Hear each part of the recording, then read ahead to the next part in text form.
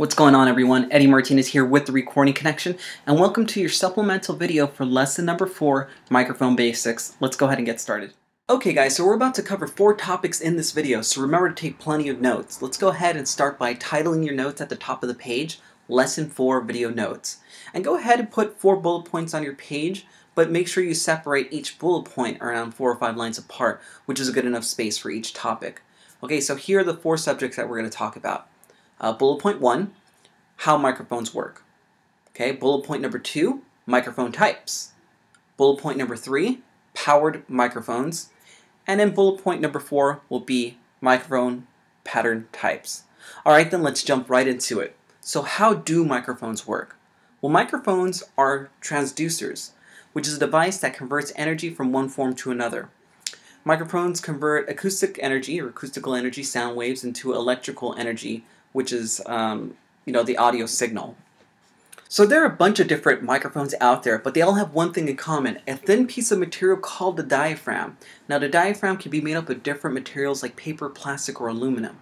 Now the diaphragm will vibrate when it's struck by sound waves. When sound waves strike a microphone's diaphragm, they cause it to move within an electromagnetic field, which in turn creates a variance in an electrical current. This signal is then transmitted to output devices which reproduce the original sound wave. Alright, let's go ahead and cover microphone types. So there are three most commonly used microphone types out there. I'm going to cover uh, ribbon mics, dynamic mics, and condenser mics. Okay, so let's go ahead and talk about ribbon mics. So ribbon mics are typically bidirectional which we'll get into in a little bit, but essentially what this means is that they pick up sound equally well on either side of the microphone. This type of microphone uses a thin aluminum, duraluminum, or nanofilm ribbon placed between poles of a magnet to generate voltages by electromagnetic induction.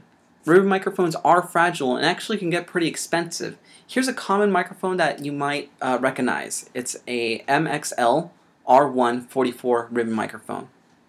Let's go ahead and talk about dynamic microphones. So dynamic microphones have a thin diaphragm that's hung by suspension wires.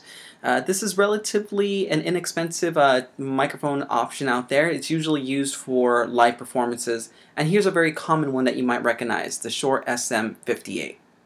Okay guys, let's go ahead and talk about the condenser microphone. So the condenser microphone has a diaphragm separated by carbon that acts as a capacitor. Now, a capacitor is a thing that stores electric energy. The condenser microphone stores and releases the electronic signals when the diaphragm vibrates. A common microphone model that you might recognize is the Audio-Technica AT2020 condenser microphone. Alright guys, let's go ahead and talk about powering a microphone. Batteries can actually power a microphone, or maybe the device that it's plugged into can also power it as well. Now, the other type of power that's out there is something called phantom power. Now this is a power that runs from the cable hooked up to a power pack just for the microphone. Uh, usually condenser mics will use phantom power.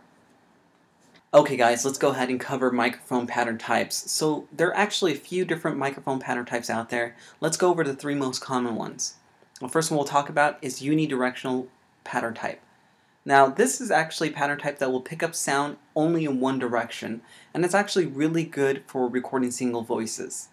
So the next pattern type we'll talk about is something called bidirectional, and this will actually pick up sound from two places. It's actually really great for recording two voices at the same time.